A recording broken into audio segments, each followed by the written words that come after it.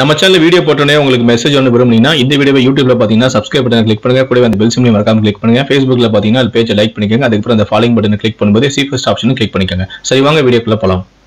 தாய்லாந்தில் சிறு கிராமத்தில் பதினைந்து வயது சிறுமி தன் பெற்றோருக்கு தெரியாமல் கர்ப்பமாகி பிள்ளையும் பெற்றெடுத்த நிலையில் பெற்றோரிடமிருந்து அதனை மறைக்க பச்சிளம் குழந்தையை வீட்டின் அருகே குழி தோண்டி உயிருடனே புதைத்து கொள்ள முயன்ற சம்பவம் பெரும் பரபரப்பை ஏற்படுத்தியுள்ளது. பிங்பாங் தான் நாய். அந்த ஊரின் ஒரு வீட்டில் வளர்க்கப்பட்ட செல்லப்பிராணி. விபத்தில் ஒரு காலையும் இழந்த பிங்பாங்கை அதன் நன்றி மற்றும் அன்பின் காரணமாக அதன் உரிமையாளர் வளர்த்து வந்ததாக கூறப்படுகிறது.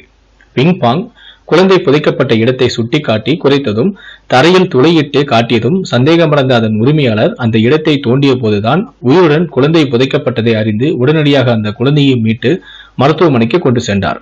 தீவிர சிகிச்சைக்கு பின்னர்தான் மருத்துவர் குழந்தை ஆரோக்கியமாக இருப்பதை உறுதிப்படுத்திய பின்னர்தான் அவர் கொடுத்த தகவலின் சிறுமியையும் போலீசார் கைது செய்து விசாரணை நடத்தினர். பிள்ளை பெற்றுவதற்கான வயதிற்கு கீழ் இருந்தபடியால் சிறுமி செய்வதறியாது இப்படி செய்திருக்கலாம் எனவும் அவர் மிகவும் பயந்த நிலையில் இருப்பதாலும் அவருக்கு தேவையான மனநல சிகிச்சை கொடுக்கப்பட்டு வருகிறது.